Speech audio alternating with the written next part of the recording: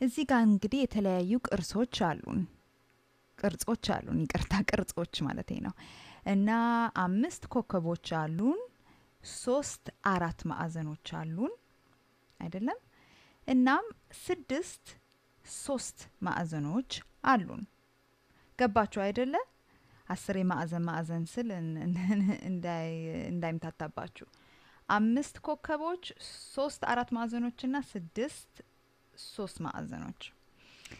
አሁን በጠቅላላ ስንት ቅርጾች ናቸው ያሉን? እንግዲህ እንደዚህ አይነት ሁሉንም ብንቆጥራቸው አንድ ላይ ስንት ይሆናሉ? በጠቅላላ ይሄንን ነው እንግዲህ ይህንን ጥያቄ ነው እንግዲህ ለመመለስ የምንሞክረው። እንግዲህ አምስት ኮከቦች ብለናል። አምስትን እዚህ ጋር እንጻፍ። ሲደመር ሶስት አራት ማዕዘኖች።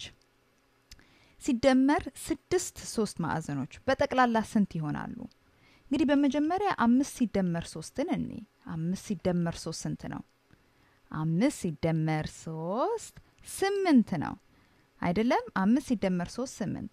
አሁን ስምንትን ካገኘን በኋላ ሲደመር ስድስት እናደርጋለን ማለት ነው። አይደለም?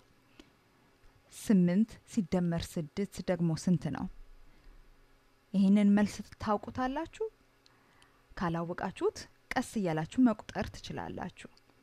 ስምንት ሲደመር ስድስት መልሱ መልሱ ስንት ይሆናል? አገኛችሁት መልሱ?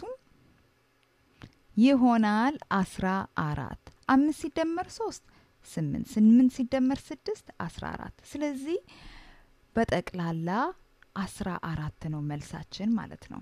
አምስት ሲደመር ሶስት ሲደመር ስድስት አስራ አራት ነው ስምንት ሲደመር ስድስት ደግሞ አስራ አራት ነው። አደማመራችንን ብንለውጥስ? እስቲ እንደገና ይህን ጥያቄ።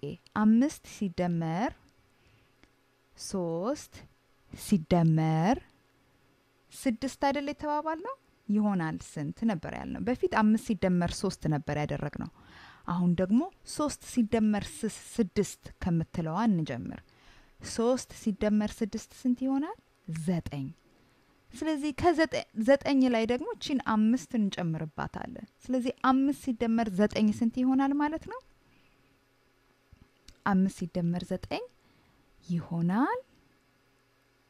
አምስት ሲደመር ዘጠኝ መልሱን ጠረጠራችሁ ታወቃችሁት አይደል? አስራ አራት ነው ማለት ነው። አምስት ሲደመር ዘጠኝ አስራ አራት። አሁንም ይህንን በቀስ እያላችሁ ቆጥራችሁም ማግኘት ትችላላችሁ አምስት ሲደመር ዘጠኝ አስራ አራት። ስለዚህ አሁን አምስት ሲደመር ስድስትን ማድረግ እንችል ነበረ። እሱ አምስት ሲደመር ስድስት አስራ አንድ አስራ አንድ ሲደመር ሶስት አስራ አራት ይሰጠን ነበረ። ስለዚህ ቦታቸውንም ቀይረን መደመር እንችላለን ማለት ነው